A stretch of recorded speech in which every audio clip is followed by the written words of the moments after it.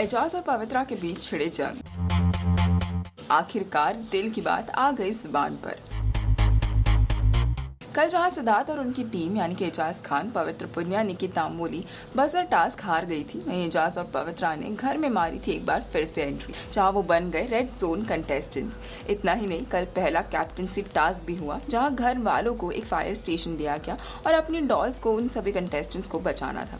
वहीं इस टास्क के संचालक रहे एजाज खान और पवित्र पुनिया, जहाँ टास्क के दौरान इनके बीच आपसी सहमति नज़र होती नहीं आई। एजाज के मुताबिक वो कंटेस्टेंट थी रुबीना, जो निकली थी घर से अंत में बाहर। वहीं पवित्रा के लिए थे अभिनव, जिन्होंने घर के दरवाजे को एंड में छोड़ा। लेकिन इस डिस्कशन के बीच एजाज और पवित्रा ने अपने दिल के अंदर की कड़वाहट को रख दिया सभी के सामने। एजाज करते नज़र आए पवित्रा से शिकायत कि उन्होंने किया है उन्हें टास्क के दौरान नॉमिनेट जिसके बाद बड़े ही प्यार से पवित्रा गई थी एजाज को समझाने।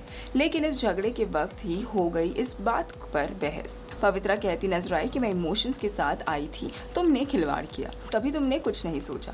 वहीं एजाज कहते हैं मेरे भी इमोशंस है।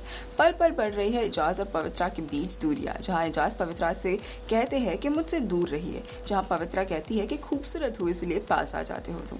वहीं एक सीन ये भी देखा गया कि एजाज एकदम करीब आकर पवित्रा से बात करते हैं, जहाँ पवित्रा उन्हें दूर करती है। एजाज कहते हैं कि मुझे हाथ लगाए बिना बात करे। तब पवित्रा मनाम डिस्टेंस मेंटेन करती है और कहती है कि अगर इससे अंदर आए तो हाथ लगेगा। पवित्रा ने यह भी कहा कि माफ़ी मांगने आई थी देरी से। अब पवित्रा और एजाज के बीच की ये फाइट तो बड़ी लंबी चलती नज़र आ रही है। क्या इनके बीच की ये आपसी कड़वाट हो पाएगी कभी खत्म? क्या एजाज और पवित्रा एक बार फिर से नज़र आएँगे एक अच्छे दोस्त बनते? इनकी लव स्टोरी की शुरुआत शुरू होने से पहले ही खत्म होती नज़र आ रही है। आपका क्या है कहना? पवित्रा और एजाज के इस दोस्ती पर हमें कॉमेंट कर ज़रूर बताए। टेलीविज़न की लेटेस्ट न्यूज़ और गॉसिप के लिए हमारे चैनल को सब्सक्राइब ज़रूर करें।